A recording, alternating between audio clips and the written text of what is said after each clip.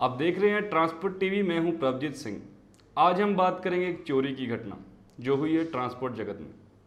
Transport जगत में हर रोज़ अजीबोगरीब किस्से सामने आते रहते हैं, जिसमें चोरी के लिए अलग अलग तरीकों का इस्तेमाल किया जाता है। ऐसा ही एक किस्सा सामने आ रहा है मध्य प्रदेश के अशोकनगर से, जहाँ पर एक ट्रक अशोकनगर से दिल्ली जाने वाला था, जिसमें महावीर कैडर्स का चना लोड था।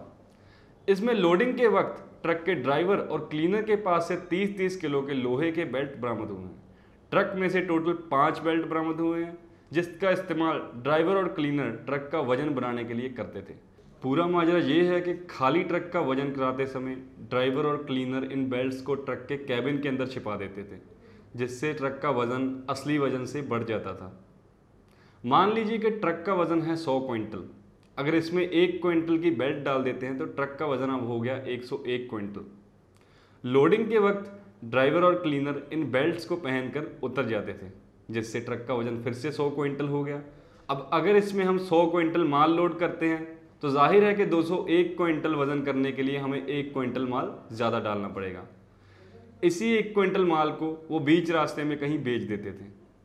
ये धांधली कब से चल रही है? इसके बारे में तो अभी कोई भी जानकारी सामने नहीं आ रही है।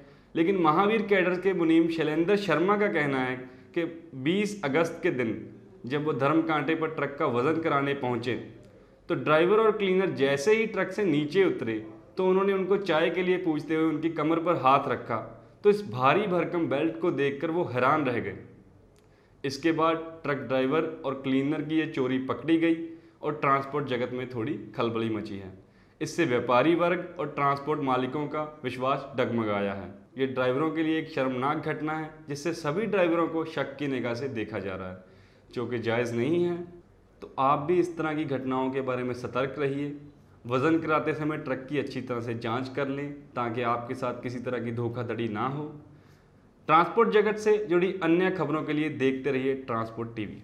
और खबरें देखने के लिए सब्सक्राइब करें अपने इस यूट्यूब चैनल को, जिसका नाम है ट्रांसपोर्ट टीवी, और सब्सक्राइब करने के बाद बेल आइकन पर ज़रूर क्लिक करें, ताकि जब भी हम कोई न्यूज़ अपडेट करें, वो आप तक जल्द से जल्द पहुँच सके। धन्यवाद।